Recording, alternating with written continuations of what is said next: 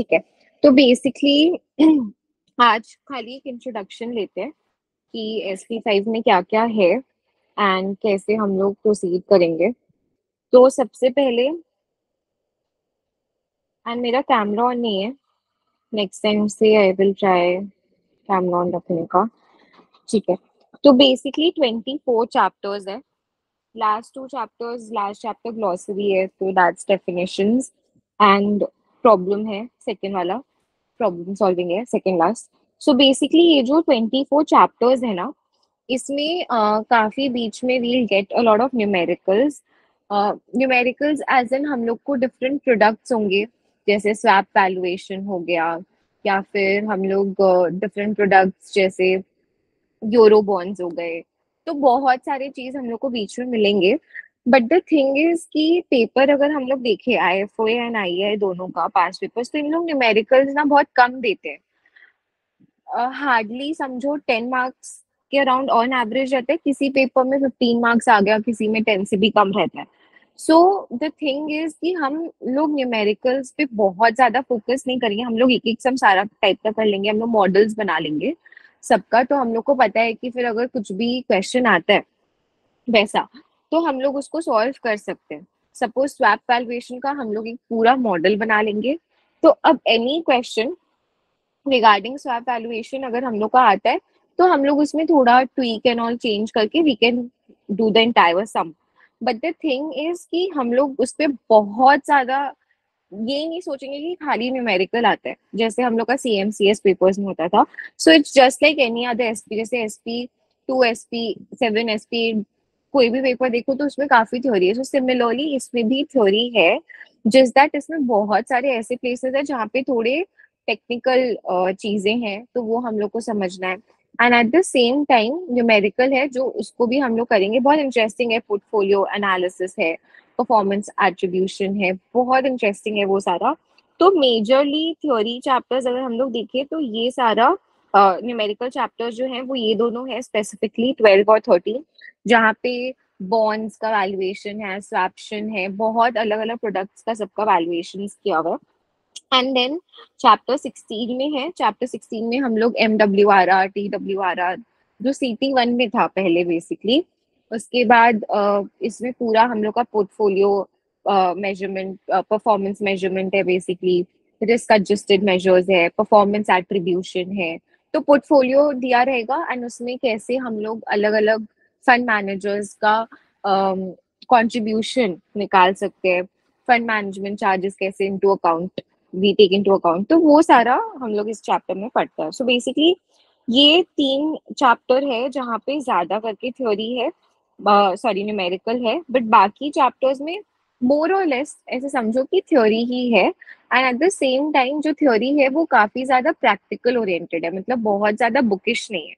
So that is that उसके बाद ये जो चैप्टर्स हैं चैप्टर टू से chapter three derivative which is very basic जो सी एम टू में हम लोग पढ़े थे सी टी एट में ऑप्शन है फ्यूचर्स है फॉरवर्ड्स है, जिसका एकदम बेसिक बेसिक दिया हुआ है इसमें। तो इसमें बहुत ज़्यादा कुछ नया नहीं पढ़ेंगे हम लोग। ऑलमोस्ट बहुत चीज़ हम लोग पढ़े हैं बट येस जैसे सी एम टू में पुट कॉल था ऑप्शन तो उसका उतना ज़्यादा ग्राफ्स हम लोग नहीं बनाते थे बट यहाँ पे हम लोग देखेंगे कि काफ़ी ग्राफ्स भी है ऑप्शन के। उसके बाद यहाँ पे chapter four and five which is very important तो इसमें ऑलमोस्ट सारा जितना भी एसेट क्लासेस है सिक्योरिटाइजेशन हो गया प्रॉपर्टी हो गया इंफ्रास्ट्रक्चर प्राइवेट डेट हो गया प्राइवेट इक्विटी हो गया तो सब कुछ इसमें है इन दोनों चैप्टर्स में। और ये दोनों chapter basically Ruchita is your ठीक है। हाय रुचिता। अच्छा मेरा स्क्रीन शेयर नहीं था share my screen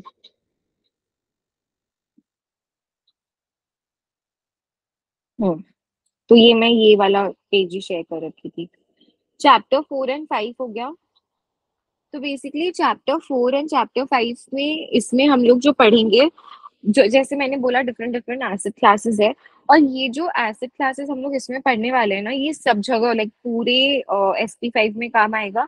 And at the same time अगर आगे जाके if you are want to wish to appear for S A seven जो इन्वेस्टमेंट वाला पेपर है तो उसमें भी डेफिनेटली फिर पूरा उसका काम आने वाला है डिफरेंट एसेट क्लासेस तो थ्योरी है but at the same time बहुत ही एप्लीकेशन बेस्ड थ्योरी रहेगा इसमें। Then we have economic influences तो इस पर्टिकुलर चैप्टर में हम लोग गवर्नमेंट uh, का क्या रोल है? सेंट्रल बैंक का क्या रोल है? Interest rate money supply what are the different ways in which they can control interest rate inflation? तो ये सारा चीज़ इकोनॉमिक इन्फ्लुएंसेस में है. Then theory of finance is again जो हम लोग बिहेवियरल फिनेंस पढ़े थे सी एम टू में इट्स द सेम थिंग जिस दैट यहाँ पे ऑन अ डिफरेंट लेवल है. तो यहाँ पे और भी बहुत सारे बायसेस दिए हुए हैं।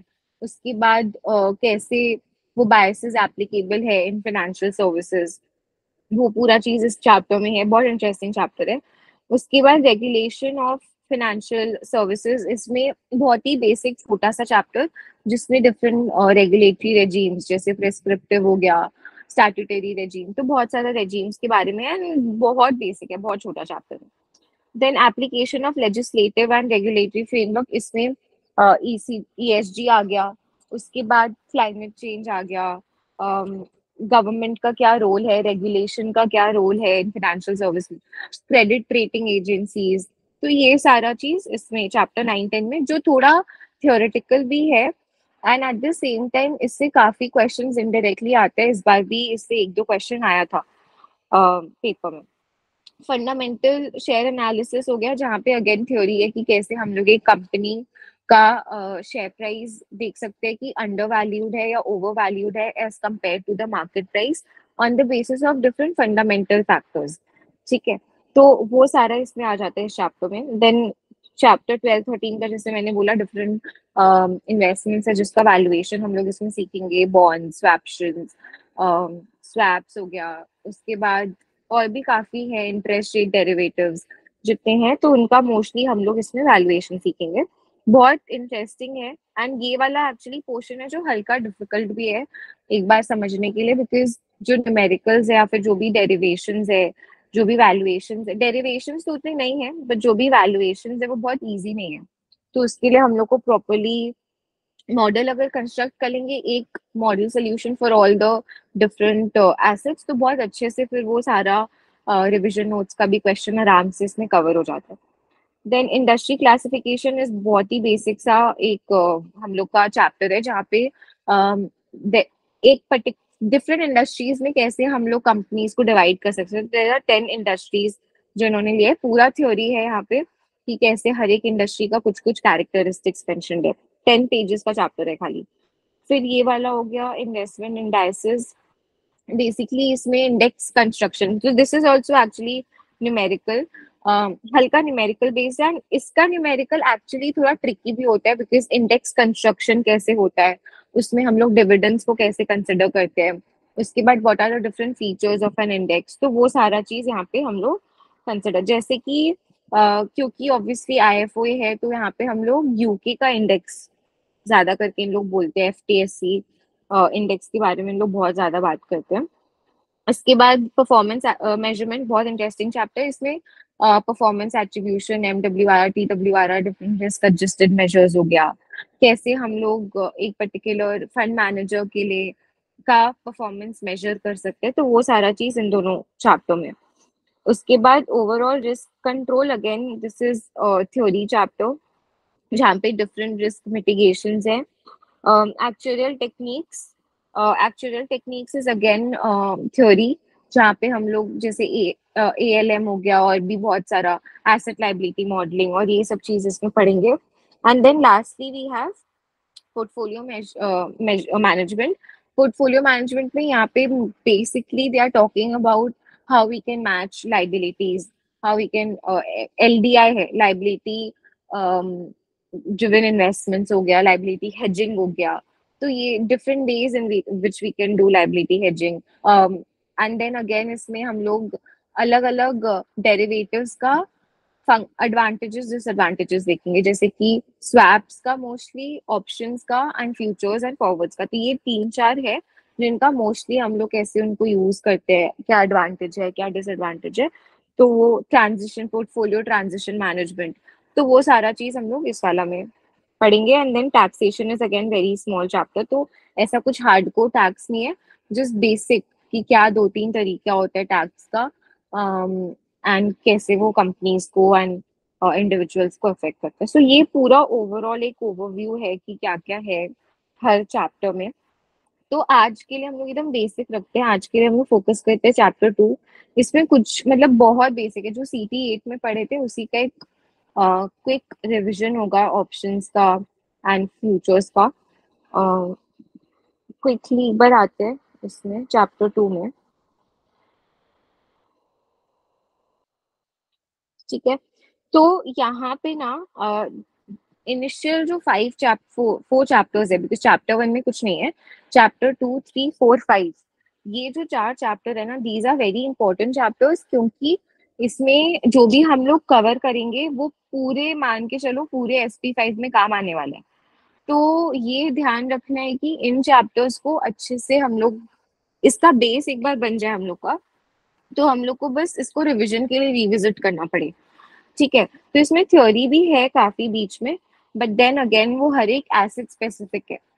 डिफरेंट डिफरेंट एसिड्स का डिफरेंट कैरेक्टरिस्टिक्स है। तो दैट इज़ वेरी इंपॉर्टेंट क्योंकि वो इंक्लूसिव होता है, वो बाकी आगे जब हम लोग पढ़ेंगे तो ये सारा चीज़ हम लोग को आगे काम आने वाला है राइट सो सबसे पहले इफ़ वी स्टार्ट तो हम लोग डेरिवेटिव किसको बोलते हैं? Anyone wants to try जिसको याद है थोड़ा बहुत सी एम टू डेरिवेटिव क्या होता है?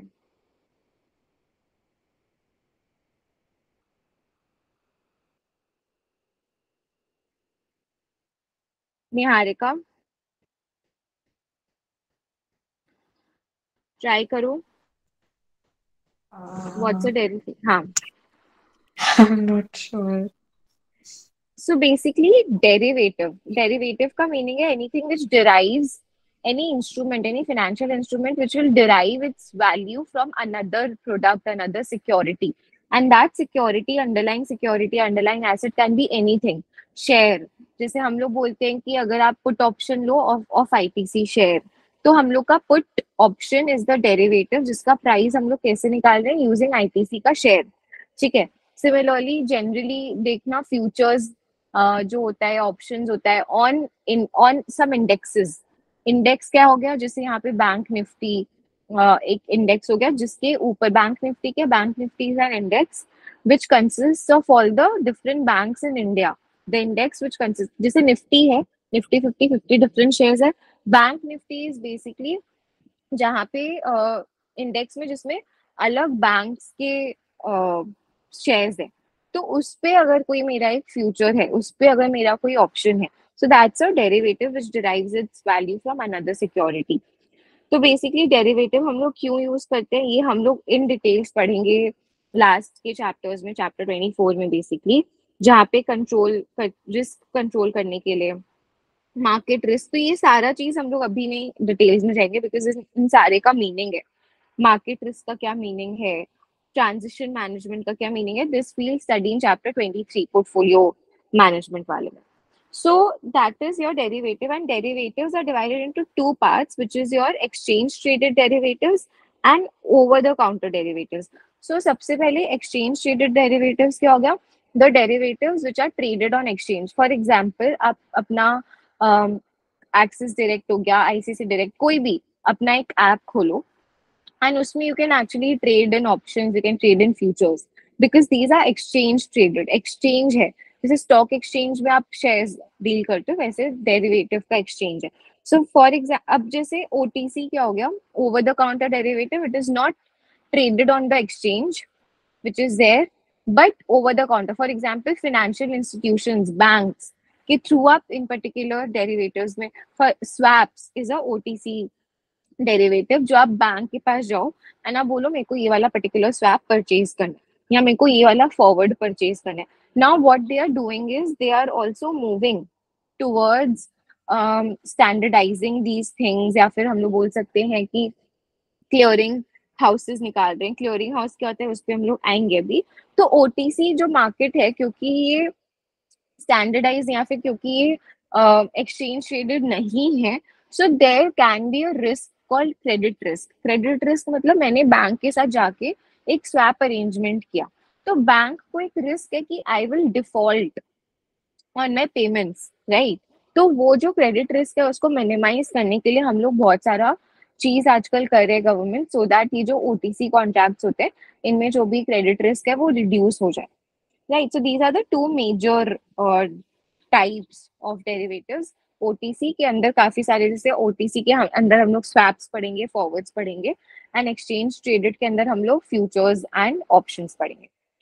So we'll start with futures today futures हम लोग कब यूज़ करते हैं? Financial futures so basically futures को हम लोग फिनेंशियल फ्यूचर्स कब बोलते हैं? जब उसका जो अंडरलाइन होता है जिससे डेरिवेटिव हो गया future is a derivative which derives its value from an underlying asset अब वो अंडरलाइंग एसेट अगर हमारा फाइनेंशियल इंस्ट्रूमेंट है this financial instrument is basically a share कोई इंडेक्स फ्यूचर इंडेक्स है इंडेक्स क्या हो सकता है? निफ्टी uh, हो गया सेंसेक्स हो गया निफ्टी बैंक हो गया these are all indexes currency हो गया. फॉर एग्ज़ाम्पल हम बोल रहे हैं डॉलर पे हम फ्यूचर्स ले रहे हैं। बॉन्ड हो गया। बॉन्ड्स भी हमारे फाइनेंशियल इंस्ट्रूमेंट्स ही फाइनेंशियल सिक्योरिटीज ही होते हैं, जिनके ऊपर फ्यूचर्स होता है। So what is a future a future is a standardized contract. Why why it is standardized? Because anything which is exchange traded. अगर हम बोल रहे हैं कि हम एक्सचेंज पे ट्रेड कर रहे हैं उसको, ठीक है? तो इट इज़ स्टैंडर्डाइज मीनिंग जैसे कि हम बोल रहे हैं कि एक पर्टिकुलर फ्यूचर का इतना पर्टिकुलर वैल्यू होगा, या फिर जनरली लॉट्स में परचेज होता है फ्यूचर 25 का हम सपोज़ लेते सपोज़ फ्यूचर्स खरीद रहे हैं तो वो 25 फ्यूचर्स जो हम लोग खरीद रहे हैं, उसका इतना पर्टिकुलर प्राइस है एंड दिस इज़ एक्सपायरी है वन मंथ का तो ये सब जो डिटेल्स है ना, ये स्पेसिफाइड है you change these particular details. So that is why it's standardized by the exchange.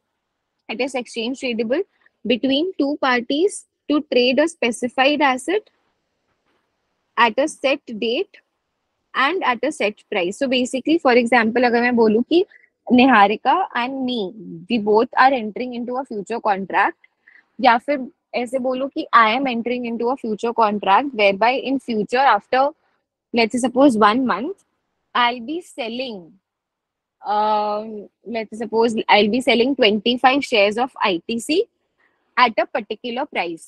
जो प्राइस हमने आज डिसाइड किया तो हमने क्या क्या डिसाइड किया? Time is one month one month के बाद एक्सपायरी होगा।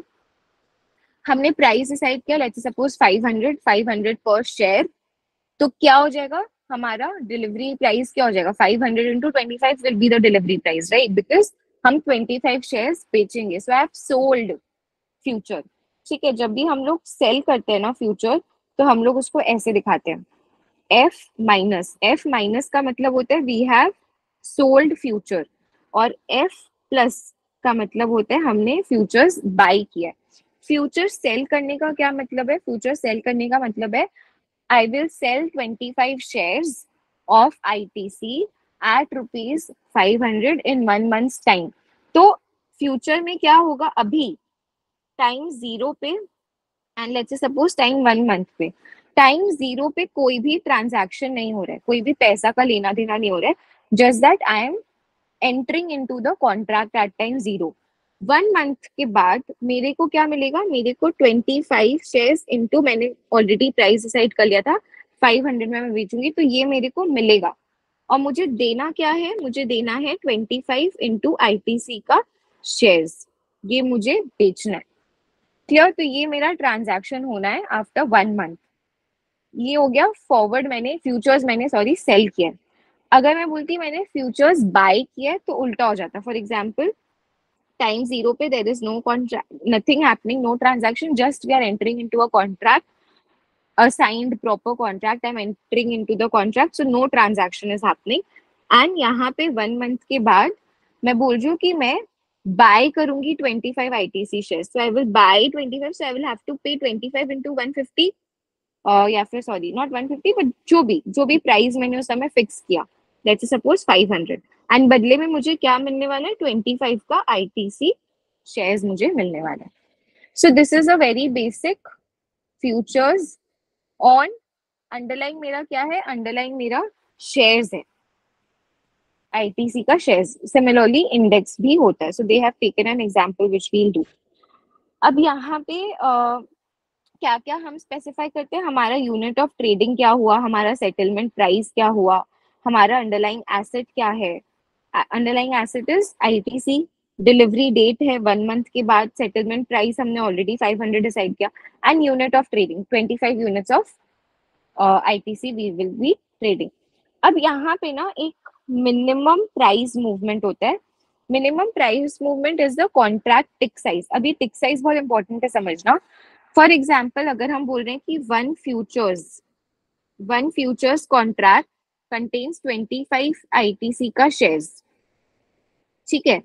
तो आईटीसी का मूवमेंट अगर आईटीसी का प्राइस शेयर का प्राइस वन रुपी से रुपी वन से अगर बढ़ेगा तो मेरा फ्यूचर कितना से बढ़ेगा? आइडियली मेरा फ्यूचर कितने से बढ़ना चाहिए? 25 correct ideally it should increase by 25 right अगर ये वन से बढ़ेगा तो मैं क्योंकि 20 so the tick size is 25 tick size मतलब मिनिमम मूवमेंट शेयर का अगर मिनिमम मूवमेंट हम वन ले तो इसका मिनिमम मूवमेंट मेरा 25 आता है. नाउ द थिंग इज़ जो हम लोग आगे पढ़ेंगे पढ़ेंगे कि इसमें अगर वन का चेंज है शेयर में अंडरलाइंग शेयर में तो ज़रूरी नहीं कि इसमें पूरा 25 का चेंज हो। एंड क्योंकि ये चीज़ ज़रूरी नहीं है there is something called as a basis risk very important that will do basis risk कब अराइज होता है? जब अंडरलाइन जो है हमारा फ्यूचर्स का दैट इज़ उसमें जो मूवमेंट है एंड फ्यूचर्स का प्राइस में जो हमारा मूवमेंट है is not in the accordingly मतलब जितना होना चाहिए, उतना नहीं होता। So there is a basis risk जिसके बारे में हम लोग काफ़ी कुछ पढ़ेंगे आगे। All right so this is your minimum tick size ना यहाँ पे देखो they have taken a very good example तो बेसिकली हम लोग का जो कॉन्ट्रैक्ट साइज़ है वो 1000 शेयर्स का है। ठीक है? Futures contract is there on a particular share and ये सब स्पेसिफिकेशंस हमें दिए हैं कि 1000 शेयर्स है। एंड करेंसी है यूएस डॉलर्स डिलीवरी डेट है। Any date in December chosen by the seller तो यहाँ पे it's not a fixed delivery date but it is on the option of the seller अच्छा दो जन होते हैं, एक होता है सेलर एक होता है बायर तो जो सेलर है, उसके पास यूजुअली जैसे मैं I am selling the future तो usually I will have the right you can say I will decide fifty fifteen को मेरे को एग्जीक्यूट करना है। That will be my delivery so I can go and I can sell my ITC shares and जो buyer है, उसको उस समय बाय करना पड़ेगा। बट यूजुअली ये जो एक्सचेंज ट्रेडेड होता है तो buyer does not know the seller seller does not know the buyer for example जब आप आई टी सी शेयर खरीद रहे हो in the market so do you know who is selling it to you नहीं because in the market there are sellers and there are buyers both both of them are dealing through a exchange, right? तो वो exchange एक intermediary है यहाँ पे। Similarly in case of futures we have clearing house clearing house is the intermediary जो हम लोग देखेंगे अभी। तो हम लोग जो सेलर है, जो सेल कर रहे हैं futures that is also selling it to the house and जो बायर है, वो भी क्लियोरिंग हाउस से बाय कर रहे हैं। Right so there is an intermediary buyer does not know the seller seller does not know the buyer now delivery date हो गया। मिनिमम प्राइस प्राइस मूवमेंट यहाँ पे दिया हुआ है। Zero point zero one steps अब ये जो स्टेप्स है ना सो so बेसिकली ये जो मूवमेंट है this is movement in one share तो अगर दिस मल्टीप्लाइड बाय थाउज़ेंड करोगे तो टेन आएगा। Right right? तो मेरा फ्यूचर्स का वैल्यू टेन से चेंज होगा। This is prices. Prices of the shares, basically. The price that they mean over here is the price of the share can move by 0.01 step. तो हमारा future का price कैसे change होगा? 0.01 into 1000 because हमारा 1000 shares का एक contract है। जैसे मैंने 25 लिया, यहाँ पे 1000 है। Right so it can move in steps of 10 so that is your 10 per contract which is your tick value right जिसको हम लोग टिक साइज़ बोलते हैं टिक वैल्यू बोलते हैं।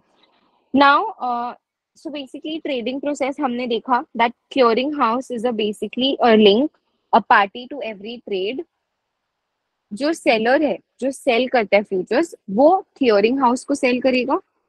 एंड जो बायर है, वो भी क्लियरिंग हाउस से ही बाय करेगा। सो देर इज़ अ गारंटी अब समझते हैं कि इसका क्या क्लियरिंग हाउस का क्या सिग्निफिकेंस होता है। So there is a clearing house ठीक है? अब यहाँ पे एक सेलर है एंड यहाँ पे एक बायर है। Seller wants to sell F minus जिसको हम लोग बोलते हैं फ्यूचर्स लेट्स सपोज़ जितना भी टेन फ्यूचर्स उसने बेचा। And buyer wants to buy only twenty futures यहाँ पे टेन है। तो there are actually multiple sellers and multiple buyers and बीच में हमारा क्लियरिंग हाउस है। अब हमें क्लियरिंग हाउस क्या क्या प्रोवाइड करते हैं? Clearing house provides a guarantee in what sense कि after one month when you execute your future contract जैसे इस केस में, ये वाला जो है सेलर वो कैसे एग्जीक्यूट करेगा? वो अपना शेयर्स मतलब वो फ्यूचर बेसिकली शेयर्स बेचेगा और बदले में उसको पैसा मिलेगा। पैसा कौन देगा उसको? उसको क्लियरिंग हाउस ही पैसा देगा, क्योंकि वो क्लियरिंग हाउस के साथ ही एंटर किया है कॉन्ट्रैक्ट में। उसको पता नहीं है और दूसरे पार्टीज़ कौन है। तो क्लियरिंग हाउस एक गारंटी देते हैं कि हाँ I will not default on the payment I will pay you that 25 into 500 whatever is the amount, and you give me the shares. तो ये एक गारंटी देता है कौन? क्लियरिंग हाउस अब इस गारंटी के लिए इसके पास कुछ होना चाहिए पैसा। तो उसके लिए ये क्या लेता है? इससे margin payment there is something called as margin payment जो both seller and buyer has to pay once you enter into the contract so that is known as initial margin मतलब जो आप एकदम स्टार्टिंग में पे करते हो to the clearing house once you are entering into the futures contract is known as a initial margin. Now, this initial margin is basically a percentage of the contract size. For example, अगर हम बोलते हैं हमने 10 futures में enter किया and each futures is uh, contains 25 का uh, ITC shares and we are entering into the contract to sell 25 shares. Uh, एक future है 25 शेयर्स का हम लोग बेचेंगे 500 ईच में। तो ये मेरा एक फ्यूचर का हुआ वैल्यू एंड ऐसा मैंने 10 फ्यूचर्स बेचा है या खरीदे वॉट तो ये मेरा टोटल कॉन्ट्रैक्ट का साइज़ है। अब इसका some percent may be twenty percent may be ten percent is paid as a initial margin to the clearing house क्यों? क्योंकि क्लियरिंग हाउस के पास अब ये रुपया है आपका।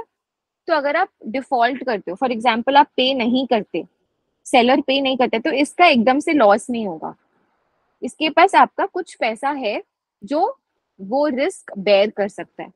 ठीक है? So this is the initial margin now there is something called as maintenance margin now maintenance margin usually क्या होता है कि ना एक क्लियरिंग हाउस एक मार्जिन लेवल मेंटेन करता है। फॉर एग्ज़ाम्पल इसके पहले हम लोग को एक कॉन्सेप्ट समझना है which is marking to market marking to market या फिर एम टू एम बी इसको बोलते हैं। ये यूजली मत लिखना एग्ज़ाम में मार्क टू मार्केट या मार्किंग टू मार्केट ही हम लोग बोलते हैं। तो इसमें क्या होता है, इसका एक सम करेंगे, बहुत इंटरेस्टिंग है। तो फ्यूचर्स का वैल्यू ये चीज़ एकदम ध्यान से सुनो ऑल राइट फॉर एग्ज़ाम्पल हम बात करें एफ़ माइनस के पॉइंट ऑफ़ व्यू से एफ़ माइनस मतलब वी विल एंड हमने एक ही कॉन्ट्रैक्ट एंटर किया है we will sell 25 shares of ITC and we will get what? We will get 25 into 500 at time one month. Now, let's say suppose current ये है हमारा time one पे हम यहाँ पे आ जाते हैं हम हम टाइम वन पे ये एंटर कर ये टाइम वन पे ट्रांजैक्शन होगा टाइम ज़ीरो पे। लेट्स सपोज़ अभी शेयर प्राइस चल रहा है फोर सेवेंटी आईटीसी का। अब बीच में यहाँ पे समवेयर आईटीसी का वैल्यू हो जाता है फोर नाइन्टी तो ये क्या हुआ? प्राइस बढ़ गया। तो ये किसके लिए नुकसान है बताओ? जो सेलर है, उसके लिए नुकसान है। इज़ दिस अ प्रॉफिट और a loss for the seller when it is 490 क्या होगा बताओ? F loss for the seller फिर से बोलो। सेलर के लिए लॉस है। लॉस है क्योंकि हम लोग ये मान के चलते हैं कि वेरी गुड तो हम लोग ये मान के चल रहे हैं कि हमारे पास अभी टाइम ज़ीरो पे कुछ भी नहीं है। We don't even have the ITC shares what we will do is actually we are just entering into a future contract wherein we will sell 25 shares of ITC and हमें बदले में मिलेगा 25 into 500 cash okay okay, या जो भी पैसा मिलेगा bank में whatever. तो यहाँ वन मंथ में ना what we do after a month is we buy 25 ITC shares क्योंकि हमारे पास है नहीं हमको खरीदना पड़ेगा हम खरीदेंगे एंड उसको हम फिर जाके जो हमारा सामने वाला पार्टी है उसको बेच देंगे एंड उससे हम लोग इतना कैश ले लेंगे। तो जब हम ये बाय कर रहे हैं तो इसका कुछ पैसा लग रहा है। तो हम ये मान के चल रहे हैं कि फ्यूचर में ये जो सेलर है, वो क्या मान के चल रहा है कि फ्यूचर में एक्चुअल प्राइस जो होगा आईटीसी का दैट विल फॉल वो ऐसा क्यों सोच रहा है? क्योंकि अगर आईटीसी का वैल्यू गिरेगा तो वो बाय करेगा कम में. फॉर एग्ज़ाम्पल वो बाय किया एक 410 में. तो कैलकुलेट करो जल्दी से 410 इंटू ट्वेंटी फाइव में द पर्सन हैज़ परचेज चलो हम लोग 25 हटा देते हैं. एक ही यूनिट कंसिडर करते हैं। हमने 410 में आईटीसी खरीदा and we have sold it in 500 so there is a clear cut profit of 90 that we made after a month but what if ये हमारा सिचुएशन है? सो वी आर इमेजिनिंग और we are may be forecasting that the price of I T C will fall so we are selling it I at a price at a price which is agreed now at a price which is agreed now की five hundred में we will sell but what if उल्टा हो जाए? What if ये 400 की जगह पे 510 हो जाए? So we will buy at 510 and we will sell it at 100 500 तो हमारा 10 का लॉस है पर शेयर इसका इंटू 25 कर दो। इतना हमारा टोटल लॉस है। तो यहाँ पे क्या हुआ? बेसिकली ये जो 470 से हम लोग 490 पे आए शेयर प्राइस इंक्रीज हुआ तो ये जो मूवमेंट हो रहा है in the share price this is against this is against the seller this is against the seller तो जो भी मूवमेंट अगेंस्ट द सेलर होता है the seller will have to pay an additional margin an additional margin क्योंकि ये जो margin account हम maintain करते हैं, जो क्लियरिंग हाउस ये मार्जिन अकाउंट मेंटेन करते हैं, उसका वैल्यू कम हो जाएगा। उसमें से कुछ पैसा वो क्या करेगा? इसका वैल्यू कम हो गया तो वो और पैसा इससे टॉप अप के जैसे सेलर से मांगेगा। ताकि एक मेंटेनेंस मार्जिन क्या होता है? Maintenance margin is basically the level जिसके नीचे जाने से ये मार्जिन अकाउंट जो है हमारा, उसके नीचे अगर गया मेंटेनेंस मार्जिन के लेवल के नीचे गया तो जो सेलर है यहाँ पे the person will have to pay an additional margin जिसको हम लोग वेरिएशन मार्जिन बोलते हैं। जिसको हम लोग वेरिएशन मार्जिन बोलते हैं। क्लियर सो बेसिकली ये जो चीज़ है ना, ये एवरी डे होता है depending on the price movement every day every hour depending on the change in the ITC का प्राइस तो इसीलिए इसको हम लोग क्या बोलते हैं? इसीलिए इसको हम लोग मार्किंग टू मार्केट या फिर मार्क टू मार्केट बोलते हैं। मार्किंग टू मार्केट मतलब मार्केट का जो भी प्राइस चल रहा है उस समय, उसके according we are marking the margin account ठीक है? सो इसके वजह से ये जो मार्जिन अकाउंट मेंटेन करते हैं क्लियरिंग हाउस वो जो उसका क्रेडिट रिस्क है क्लियरिंग हाउस का एक बहुत बड़ा क्रेडिट रिस्क है कि सेलर या बायर वट मेरा ट्रांजैक्शन फुलफिल नहीं करेगा। So I will have to bear the entire risk तो वो जो रिस्क है यूजिंग दिस मार्जिन हम लोग कम कर सकते हैं। क्लियरिंग हाउस एक्चुअली कम कर सकते हैं। इस पर बहुत अच्छा सम करते हैं पहले। तो और क्लियर हो जाएगा कॉन्सेप्ट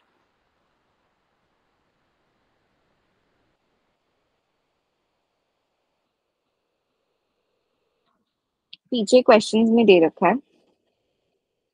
ये देखो। ये वाला एक सम करते हैं। ठीक है।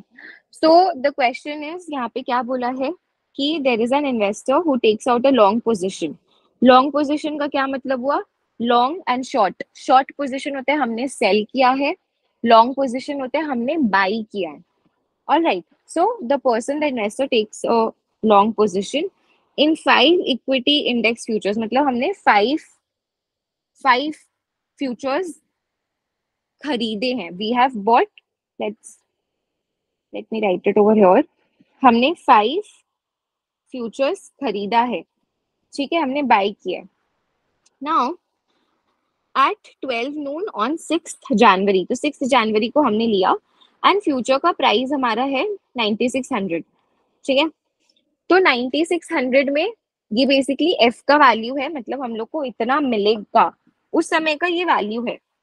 ठीक है? नाउ द इंडेक्स फ्यूचर अब ये इंडेक्स पे बेस्ड है। फॉर एग्जांपल इंडेक्स पे बेस्ड होने का क्या मतलब है? आप Nifty Nifty is an index Nifty Nifty fifty is an index Nifty पे आप फ्यूचर्स ले रहे हो। निफ्टी बैंक यूजली बहुत इंडिया में लोग उस पर ट्रेड करते हैं। तो निफ्टी बैंक पे फॉर एग्ज़ाम्पल हम फ्यूचर्स खरीद रहे हैं। फाइव फ्यूचर्स निफ्टी बैंक का नाइनटी सिक्स हंड्रेड पे। हम लोग खरीदे मतलब let's suppose after one month of time I will be buying Nifty futures at ninety six hundred of rupees ठीक है? नाइनटी सिक्स इंटू फाइव हो गया। तो ये जो है ना, ये जो नाइनटी सिक्स हंड्रेड है, हम लोग बाय कर रहे हैं बेसिकली तो हम लोग को क्या लग रहा है?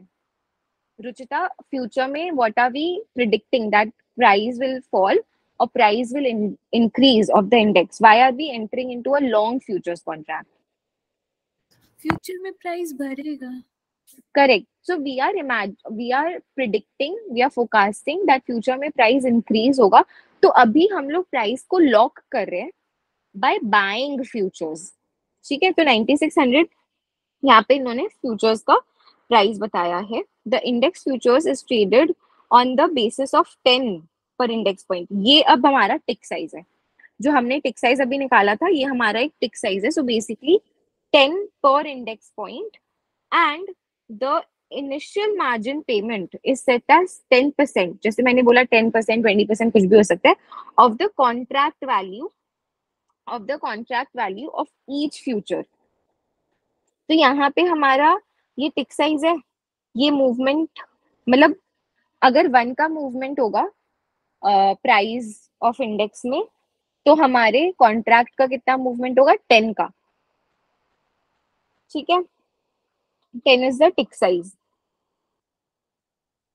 complete the complete the table below showing how the investors margin account balance will will vary subsequently तो बहुत इंटरेस्टिंग ये वाला सम हम लोग स्टार्ट कर रहे हैं 96 फिर से समझा दीजिएगा ना the index future is traded on the basis of 10 per index point इसका मतलब? इसका मतलब ये है जैसे मैंने अभी क्या समझाया था कि वन से अगर आईटीसी चेंज होगा रुपी वन से अगर आईटीसी चेंज हो रहा था तो हमारा फ्यूचर कितने से चेंज होगा? ट्वेंटी फाइव से? तो हमारा फ्यूचर का टिक साइज़ ट्वेंटी फाइव आ रहा है। ओके मतलब फ्यूचर का जो प्राइस तो यहाँ पे इट इज़ सेइंग कि टेन से चेंज होगा ten basis the index future is traded on the basis of ten पर इंडेक्स पॉइंट पर इंडेक्स पॉइंट मतलब एक इंडेक्स पॉइंट में चेंज है हमारे फ्यूचर में टेन का चेंज होगा। गॉट इट हाँ हाँ। और ये initial. Margin is set to 10% of contract value तो इसमें कॉन्ट्रैक्ट वैल्यू अपना क्या हो गया? कॉन्ट्रैक्ट वैल्यू हम अभी निकालेंगे। तो बेसिकली कॉन्ट्रैक्ट वैल्यू देखो ये है जो मैंने यहाँ पे नहीं दिखाया था। टेन फ्यूचर्स कॉन्ट्रैक्ट में हम एंटर कर रहे हैं। टेन फ्यूचर्स मैंने सेल किया या बाई किया। ट्वेंटी फाइव क्यों? क्योंकि ट्वेंटी फाइव उसका टिक साइज़ है। है ना? वन का movement in ITC will lead to twenty five का movement in my future and five hundred का हमारा प्राइस अग्री हो रहा है फ्यूचर का। कि फाइव हंड्रेड पर शेयर हम लोग बेचेंगे। तो this is entire thing my contract value okay okay ठीक है? तो यहाँ पे आप लोग ट्राई करो एक बार कॉन्ट्रैक्ट वैल्यू खुद से। You all can like write this down ये वाला सम आप लोग लिख के कर सकते हो since you all don't have the material right now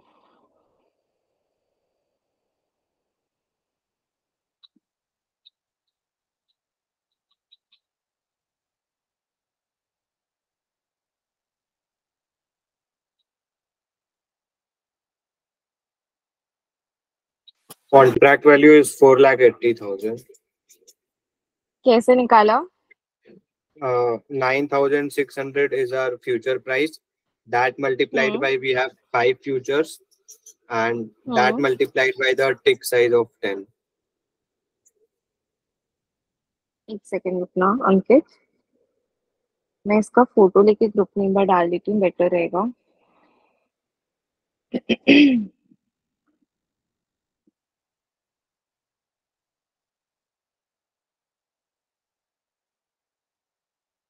hmm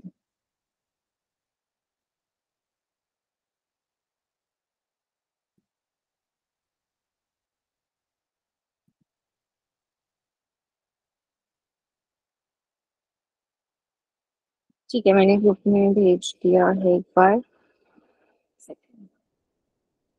okay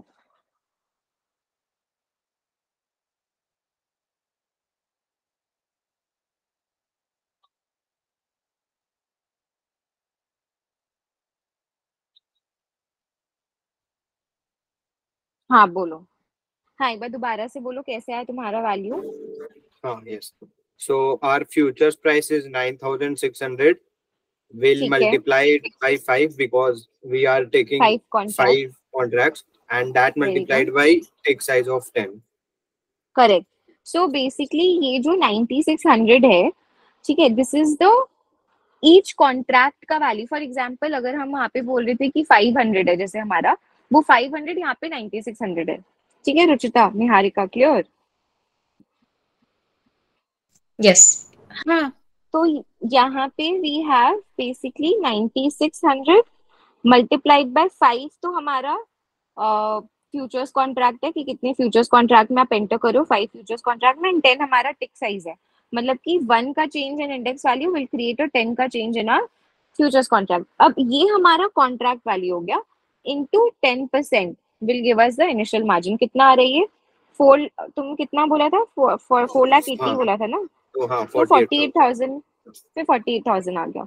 तो this is the initial margin that we'll be depositing तो अगर वो मैं पूरा टेबल यहाँ पे एक बार बनाऊँ 9600 से एक बार क्वेश्चन इसलिए मैंने ग्रुप में भेज दिया क्वेश्चन खोल लो। तो 9600 से हम लोग स्टार्ट कर रहे हैं फ्यूचर का। ये हमारा फ्यूचर का प्राइस है। ठीक है? उसके बाद हम लोग के पास डेली का हम लोग को गेन या लॉस निकालना है। क्यूमुलेटिव गेन या लॉस कितना आएगा? And finally we have margin account का बैलेंस ठीक है? So we are starting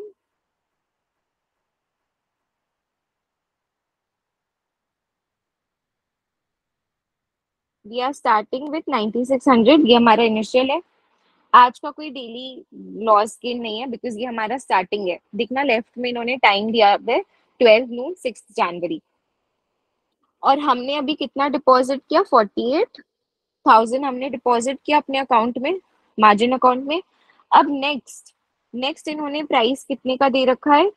nine six two zero का प्राइस दे रखा है right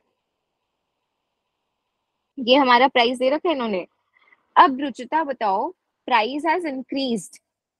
So is this against us or is this like in favor of us as a buyer?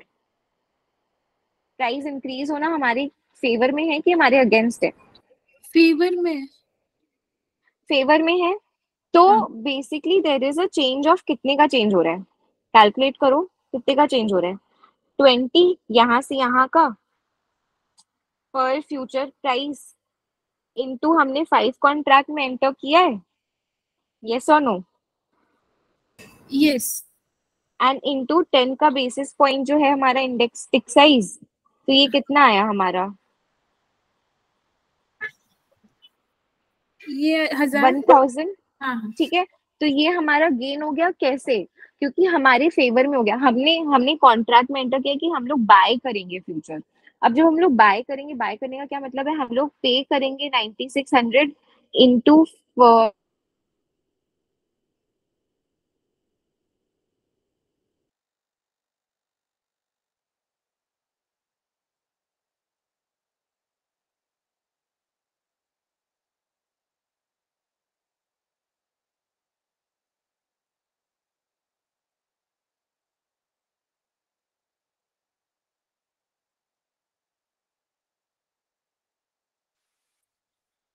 Able to hear you. ये लोग सुन पा रहे हैं और नहीं मुझे भी नहीं आ रही आवाज़ hello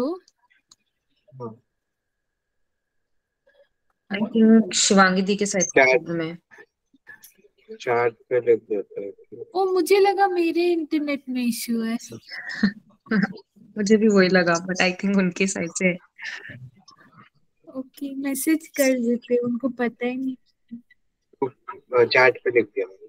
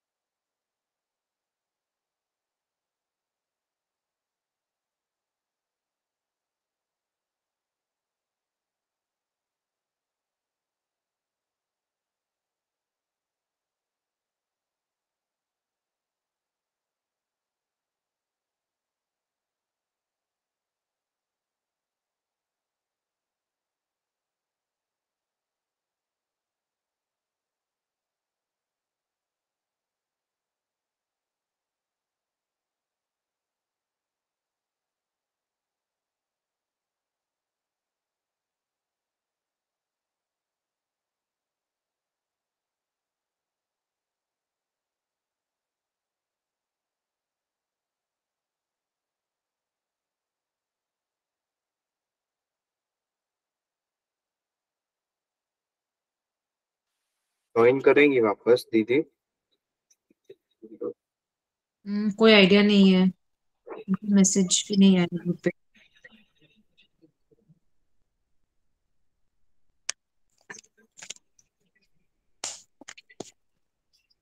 कॉल कोई करके पूछेगा क्यों?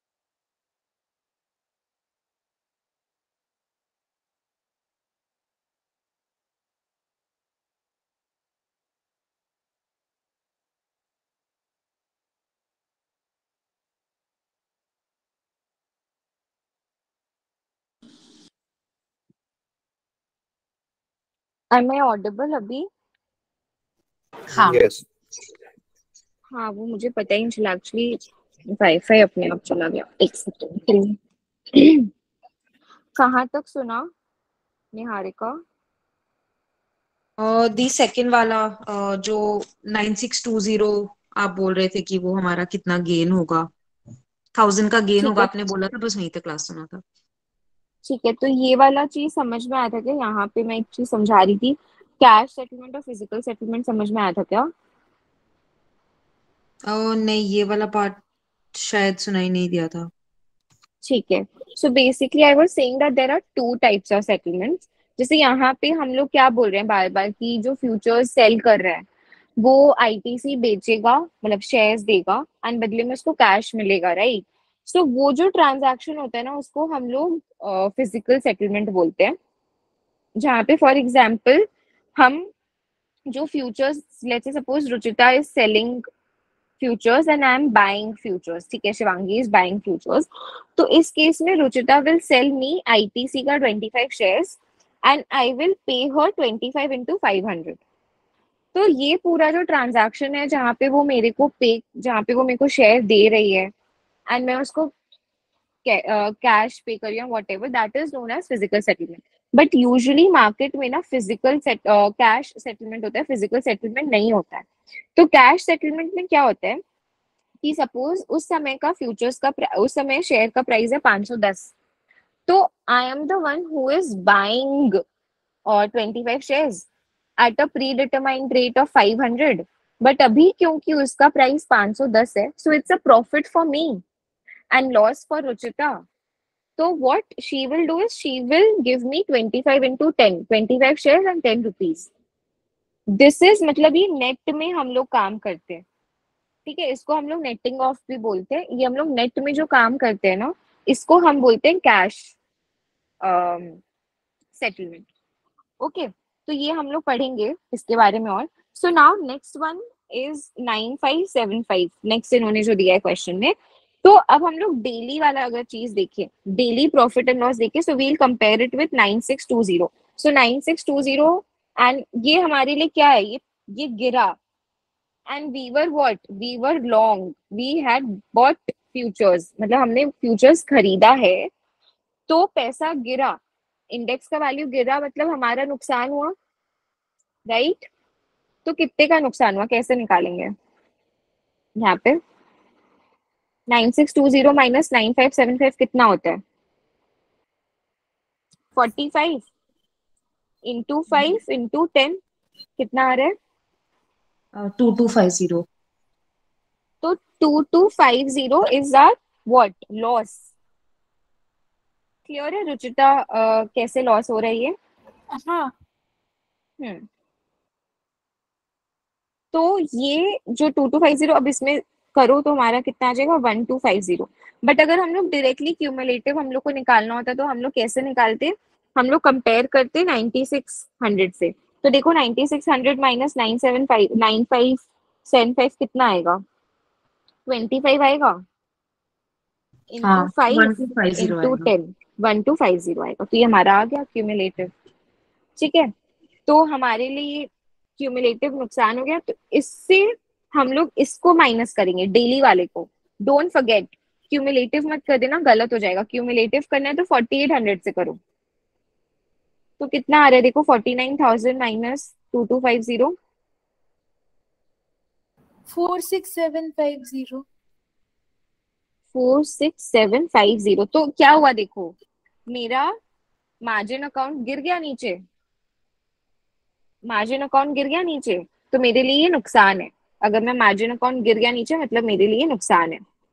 अब नेक्स्ट देखो नेक्स्ट इन्होंने दिया है नाइन फाइव ज़ीरो एट ठीक है? तो नाइन फाइव ज़ीरो एट है नाउ अगेन डेली कैसे निकालेंगे? Again price has fallen so it's a loss for us कितने का लॉस है? माइनस करके बताना नाइन फाइव नाइन फाइव फिर से बोलो 67 sixty seven so sixty seven into five into ten कितना आ रहा है? 3350 three five zero three three five zero अब इसमें इसको कर दो तो माइनस फोर सिक्स नहीं। हाँ सही किया मैंने। तो अब इसमें माइनस कर दो फिफ्टी नहीं एक सेकेंड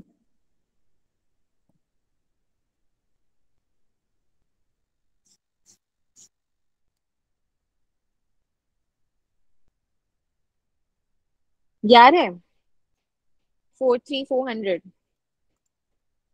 तो बेसिकली हमने पे किया था initial margin forty eight thousand अब हमारे अकाउंट में कितना बचा है? Four three four zero and suppose अभी हमारा ये जो कॉन्ट्रैक्ट है खत्म हो जाए तो मेरा ओवरऑल मेरे को क्या मिलेगा? ये जो मार्जिन अकाउंट होता है ना, ये क्लियरिंग हाउस के पास होता है। तो क्लियरिंग हाउस मेरे को क्या करेगा? ये पूरा मार्जिन जो मेरे पास बच रहा है, ये मेरे को वो लौटा देगा। तो मेरा कितना का प्रॉफिट ओवरऑल आएगा ये बार देखना। प्रॉफिट या लॉस कितना का आएगा मेरा? फोर्टी थाउज़ेंड करेक्ट कितना का लॉस आ रहा है? 4600 हाँ? 4600 फोर थाउज़ेंड सिक्स हंड्रेड आ रहा है लॉस ये मेरा लॉस है क्योंकि मैंने मार्जिन में डाला था इतना। अब इसको हम लोग एक बार लॉजिकली निकालते हैं। Ninety six hundred was the value अभी है nine five zero eight. We have entered into a future contract to buy the index तो पैसा गिर गया। इंडेक्स का वैल्यू गिर गया is a negative thing for us so 9600 minus 9508 this into 5 ठीक है? Into um, 10 एक बार करके बताना कितना आ रहा है? फोर्टी सिक्स हंड्रेड आया आंसर दोनों तरीके से?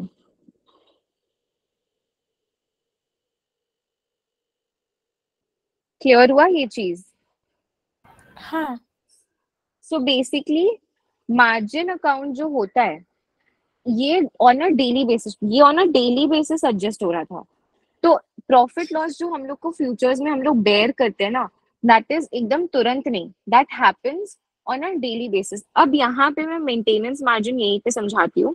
फॉर एग्ज़ाम्पल हम बोलते हैं कि हमारा मेंटेनेंस मार्जिन है let's suppose forty five thousand is the maintenance margin मतलब अगर मेरा मार्जिन अब क्या होता है ना? सपोज़ रुचिता, अगर रुचिता को फॉर एग्ज़ाम्पल फ्यूचर्स में डील करने तो वो फ्यूचर्स खरीदती है मार्केट से या बेचती है वॉट एवर सेलिंग या बाइंग तो वो एवरी डे वो बैठ के मार्जिन सेटलमेंट नहीं करती है। She enters into the futures through a broker may be जहाँ पे उसने ऑलरेडी मार्जिन डाल रखा है फोर्टी एट थाउज़ेंड का।